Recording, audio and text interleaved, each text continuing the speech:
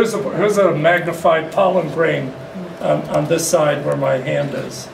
Uh, Anyway, um, bees, uh, why do they collect pollen? Pollen is their protein. So, uh, and they get fat from it and minerals. So, uh, wh- when a bee, a forager bee goes out into the, um, leaves the hive, uh, it collects uh, four different things. Nectar, so a bee does not collect honey when it goes to a flower. There's no honey on the flower, but there's nectar. And uh, that's the carbohydrate that we use and the bees need uh, as an organism. The second thing, not in order, collects is po- uh, pollen, which is protein, and uh, collects water uh, to dilute the nectar, also to uh, air condition the hive if the temperature exceeds 95 degrees Fahrenheit. And it collects a resinous substance from trees called um, propolis, which it uses to sort of glue things together and, and cover up crevices. So then, uh, related to all this is obviously when a flowering plant, a plant in flower is sprayed with an insecticide, a fungus, a fungicide, um, the bee is carrying this back to the hive. And unfortunately now, I think that this is almost unbelievable. They've identified within the wax, which acts like the liver in the hive and absorbs all this stuff, like 157 pesticides and fungicides in the wax in a hive. Fortunately, it doesn't go get incorporated into the honey.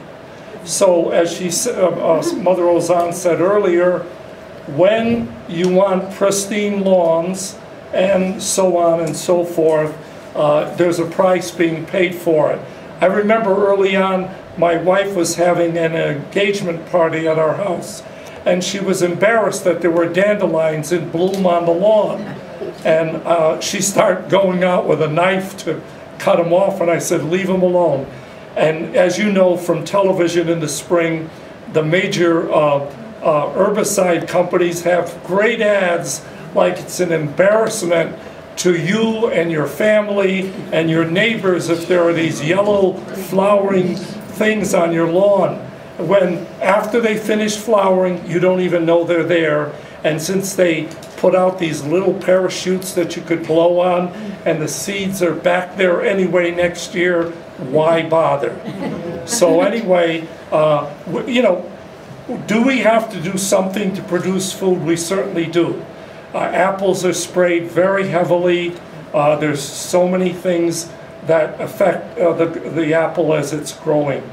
But we need to have more of a balance uh, in order to protect the honeybee, which, by the way, pollinates one third of the crops we eat. So one third of what you eat will be gone if the pollinators disappear. Not so much the vegetables, although for continuity, they need pollination to have the next generation. But all those fruits and things, and the, um, the clover that dairy animals are dependent on. Um, So, yeah. Could you say a little uh, bit uh, about the synthetic pesticide, that they're a category called neonics? The Um, neonicotinoids. Yes, right. And it's called neonicotinoid because it's um, nicotine. It used to be, any, I mean, some people's mothers, grandparents might have like um, put their cigarette butts in water, and then you spray them on your roses. Kills everything. Because nicotine is is a potent insecticide, and um, I'm not sure chemically, but the, there's a there's a synthetic relationship between the neonicotinoids and nicotine and they kill everything. um, and um, used to be the neonicotinoids, it's a, class of pesticides, and as an arborist, I'm a certified uh, pesticide applicator. I have to learn all that stuff to um, of how it applies in the landscape. And um, and the neonics historically had just been used on non-food crops, like cotton. Cotton is one of the biggest sponges for pesticides in the country because every insect loves to eat it and it's vulnerable to fungi. Um, And it would be used a lot, like if you, if your birch tree is, is unhealthy and you call somebody and they treat it with um, imidacloprid, which is a neonicotinoid, to protect it from bronze birch borer. Um, It's used, used to be used mostly in the ornamental landscape and in non-food crops. But it's, in- um, certain forms of it are now being used on food crops. And there was a um, recent um, catastrophic bee loss in, um, localized catastrophic bee loss in Ontario related to um, seed that was treated with a neonicotinoid pesticide. When it was planted, the dust from the, from the seed drifted over to beehives, and bees foraging picked up this pesticide, and they could prove beyond, you know, conclusively that it was that seed treatment that was linked to these, the death of these extremely healthy bees. So, um, they're banned, they're banned in, they're banned in Europe now. Um, Right, two-year exactly. ban. As, as of May, the, uh, there was I a don't ban exactly what the date is. pesticide. Yeah, a two-year experimental ban in Europe. Those affected most are the littlest humans. And um, they're affected because they're down on the ground. So think about your lawn and treating your lawn in order not to have dandelions and how beautiful that is to crawl in. Or your new carpeting that's been treated with chemicals um, and that is also tactily young toddlers, etc. and then they put their hands in their mouth. Um, With the baby bottles are treated with BHT. As soon as those baby bottles start to get scratched up, they're um, toxic. They're, they're leaching the toxins. Um, So there's, there is legislation, many people are looking at creating legislation. Just recently, the GMO legislation in Connecticut was, uh, came up again. I heard last year there were 20 people at the Capitol protesting uh, not having labeling for GMO-related food, and this year there were 400.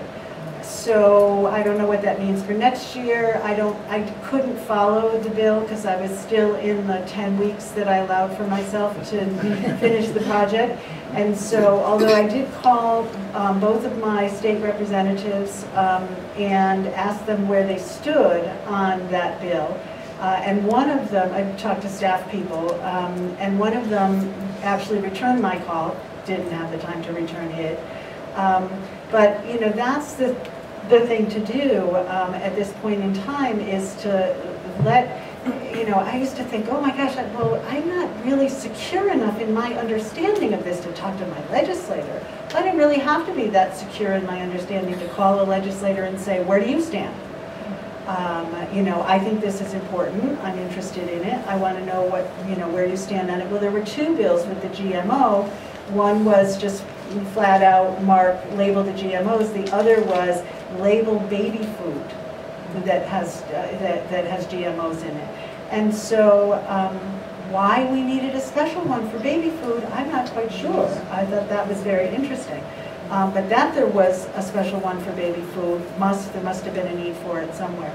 So those are the kinds of things that we can, the, my, my conclusion, which of course, I, hopefully I have a long life left ahead for me and I'll come to many other um, deeper conclusions. But my conclusion um, that was influenced by the fellow who wrote Green Intelligence, he, this is a Yale, I don't know if he's a Yale guy, but he's, I think he is, he's a professor at Yale. Yeah, professor of environmental policy, risk analysis, and blah, blah, blah at Yale. Um, And um, what he says is it's about transparency. We need to make them tell us what's in it.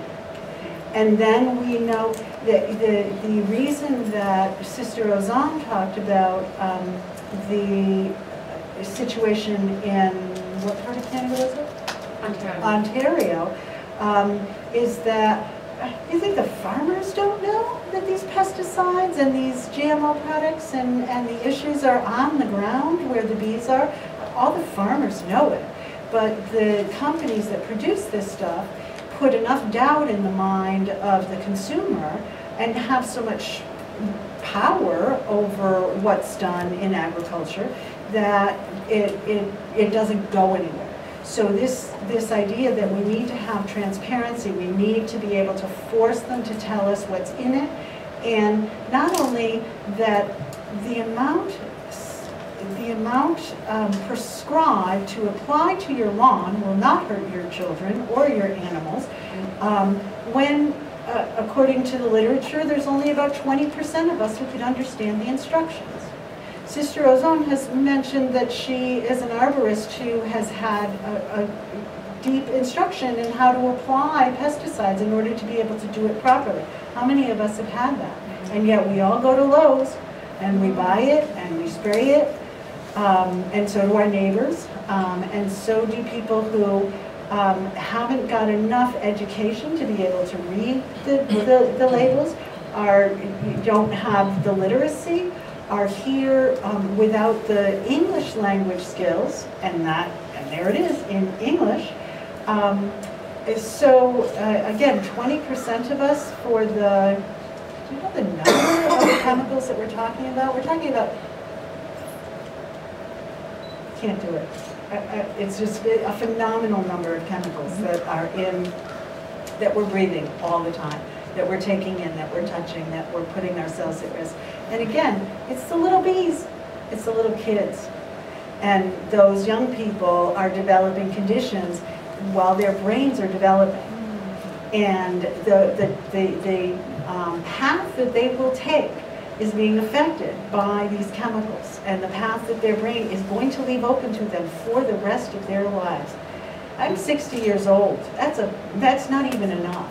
And to imagine that the brain is damaged for somebody's profit for the rest of your life for throwaway kids. That's what we're talking about. So, so let me just say this, because I, I really have to finish on this, because this is depressing. I mean, it wore me out um, in, in working on it, because if you, when you look at the exhibit, you'll see that there's so much detail in this work.